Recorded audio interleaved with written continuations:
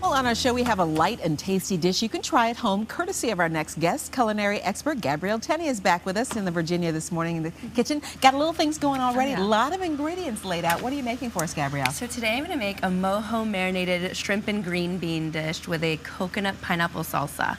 And this is a, one of my favorite dishes for summertime.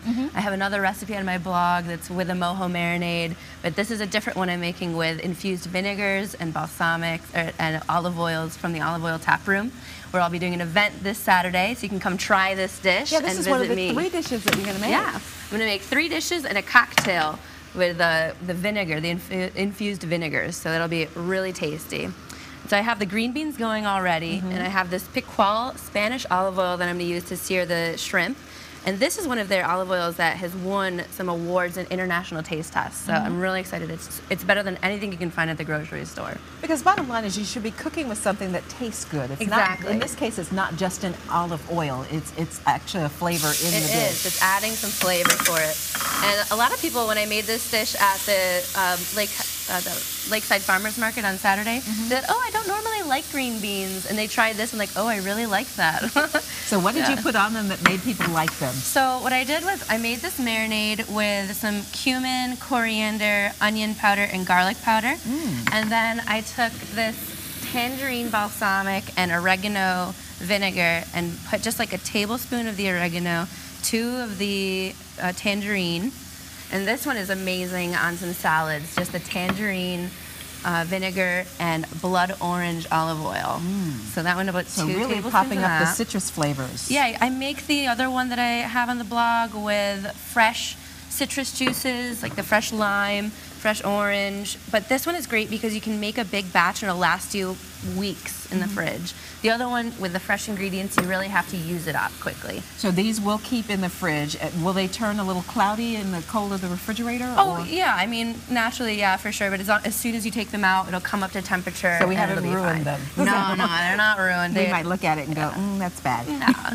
This one's a little jalapeno, which is awesome because it, it, imparts some spiciness, but it really does bring out that fresh jalapeno flavor that I love. I never knew there were so many infused flavor oils. it's amazing. They're so great. And you can walk into the tap room and you can taste them all. You can go and do little taste tests of all the vinegars and uh, olive oils.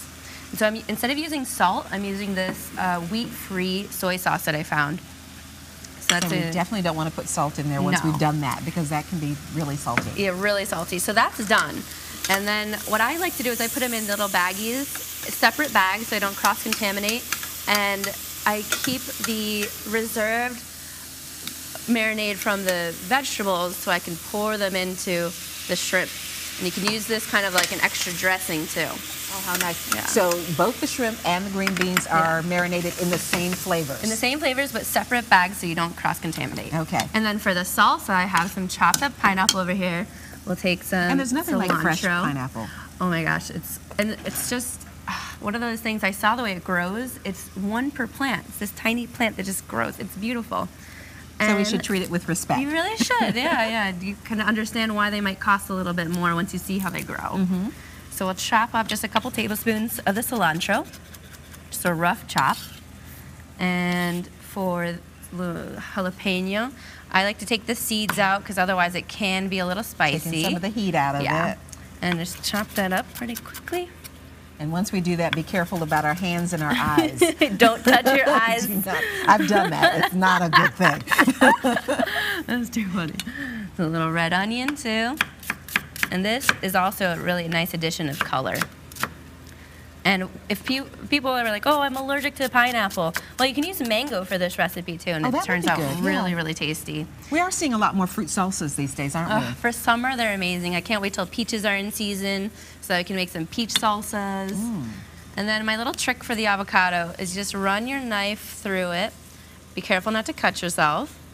And then just crisscross on the other side. I do that, but not as quickly as you do. and then you grab your spoon and go yeah, for you grab it. a spoon and then just take it out. And you really want to get that green, green goodness from the edges because that has most most of the antioxidants.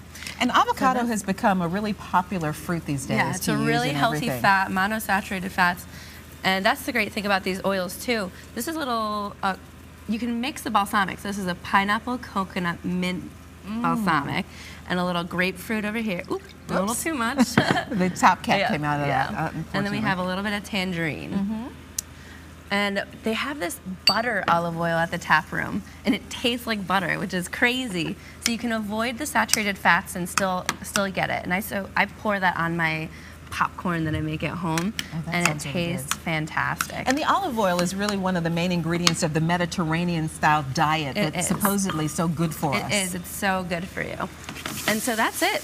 All right, let's This plate it up. a- Let's go. Just a, you can try it today too. We actually have time. so the, this is a gluten-free dish. Since we use the gluten-free uh, soy sauce, you can also serve it with a little bit of quinoa if you'd like. And it's amazing these days how people have dietary restrictions and uh, the food is kind of adapted to that. We don't have to really search and search anymore to Yeah, find the good things. and I love to make these dishes just to show you that you really can make tasty food gluten-free, vegetarian, like this. If you just do it with vegetables instead of the shrimp, it's completely vegan. And then we'll top it with some Yeah, don't salsa. forget the No, salsa. that's the most important part. And that makes for a perfect breakfast, lunch, or dinner. Oh yeah. So you can kind of also try some of this, these dishes that I make at the Lakeside Farmers Market, and their outside pavilion is now open, and they're open from eight to noon now. So you can come visit and try some food, and then also at the tap room from two to four this weekend if you're not busy and you want to come try some tasty treats, and also enter to win a gift back basket. What fun, Gabrielle, holding that free cooking demonstration this Saturday. It starts at 2 at the Olive Oil Tap Room at the Shops at Bellgrade. That's on West Huguenot Road in Midlothian. For more information, just go to our website, wtvr.com slash VTM. It looks fabulous. While they play, I'm going to